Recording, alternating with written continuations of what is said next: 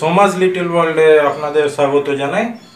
আজকে দেখতেই পাচ্ছেন, আমি শুরু করছি ব্লগটা আপনাদের যে জেনারেলি যে হোস্ট থাকে, সে আজকে নেই। এবং আমি শুরু করছি দেখুন রান্নাঘরের থেকেই তার একটা কারণ আছে।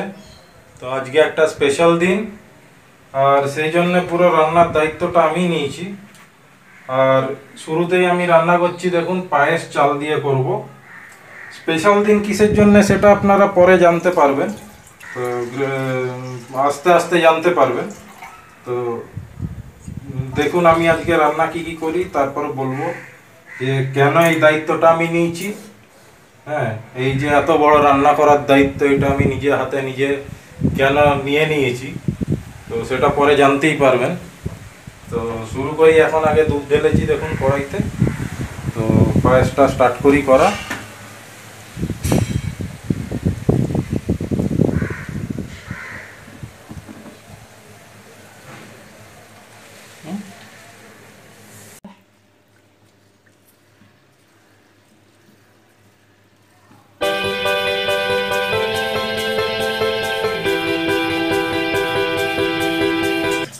দুধটা প্রায় ফুটে উঠেছে।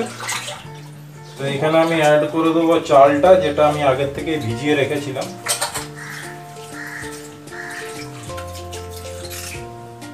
আর এটা আমি পুরোপুরি চালটাকে দুধের মধ্যেই সেদ্ধ করব। একটুখানি আজকে দিনটা স্পেশাল তো। আর আমার বউ পায়েস টায়েস খেতে খুব ভালোবাসে। সব খাবারই খেতে ভালোবাসে, পায়েসটা একটু বেশিই ভালোবাসে।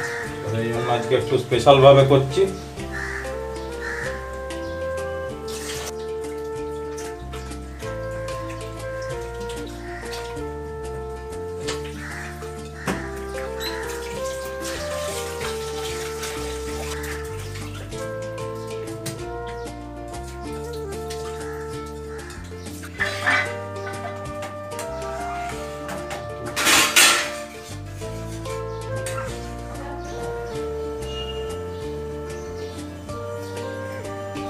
এলাচের গন্ধটা বেশ ভালো লাগে পায়েসে।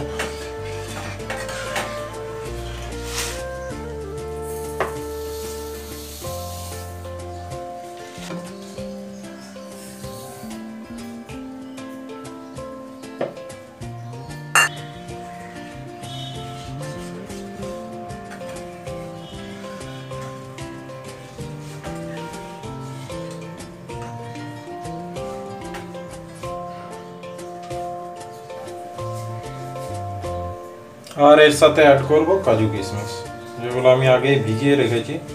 ওই যে দেখুন।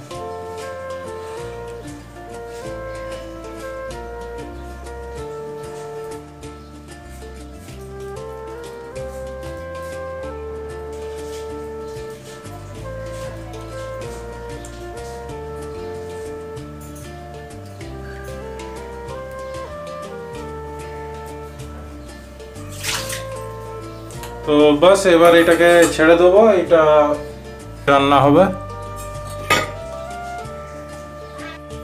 তো পায়েসটা আমার প্রায় হয়ে এসছে, দেখুন, এটা দুধটাও প্রায় চাপ চাপ হয়ে এসছে, চালটা সেদ্ধ হয়ে গেছে। তো এবার আমি পায়েসটা নামিয়ে নেব।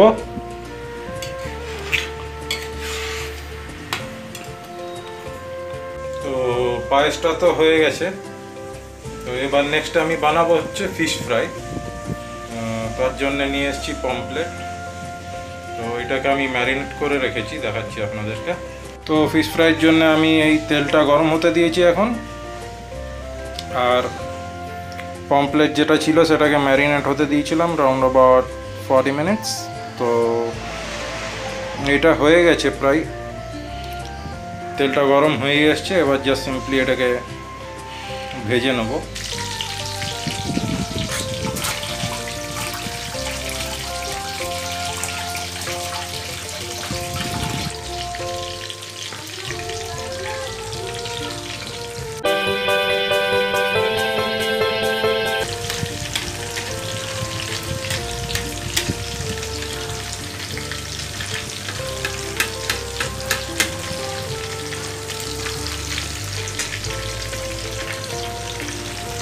ফ্রাই তো হয়ে গেছে, তো নেক্সট আমি যেটা বানাবো, সেটা হচ্ছে আমার ওয়াইফের খুব ফেভারিট কিন্তু আমি খাই না। সেটা হলো চিকেন তো চিকেনের জন্য অ্যাজ ইউজুয়াল তেল গরম হতে দিয়ে দিয়েছি। এই তেলটা গরম হোক, একটু গরম হয়ে গেল তো একটুখানি চিনি দেবো, যাতে একটু কালারটা আসে। গরম হয়ে গেছে, এতে আমি একটুখানি চিনি দিয়ে দেবো।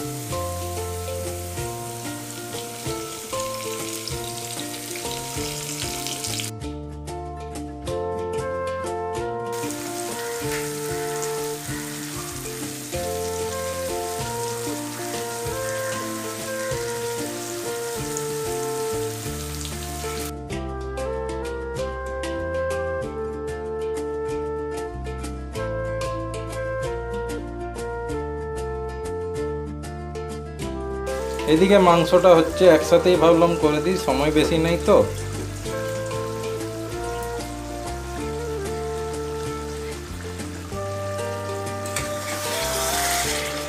এইটাও প্রায় বসেই এসেছে।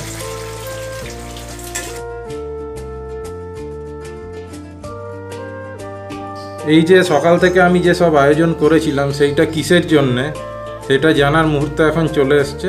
তো আপনারা আশা করি দেখেও বুঝতেই পাচ্ছেন কিসের জন্যে। সেটা হচ্ছে আপনাদের যে সমাজ লিটিল ওয়ার্ল্ড আছে, তার এই সোমা তো আজকে ওর জন্মদিন, বার্থডে, লকডাউন হয়ে আছে, কিছু বিশেষ করতে পারিনি, সেই জন্য ওর পছন্দের কিছু খাবার আমি করে দিয়েছি। আর নিজের মতো করে বার্থডেটা পালন করার চেষ্টা করছি।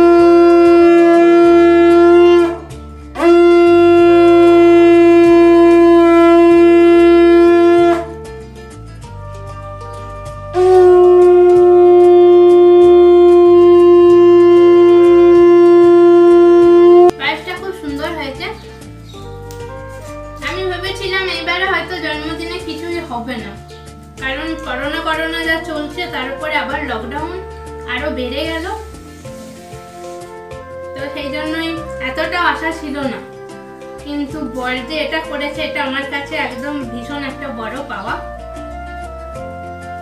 আমার বর তো এত কিছু আমার জন্যই করেছে। আপনাদের আপনাদের থেকেও আমি একটা জিনিস চাইব, সেটা হলো আপনাদের সকলের আশীর্বাদ। সবাই আমাকে আপনারা আশীর্বাদ করুন।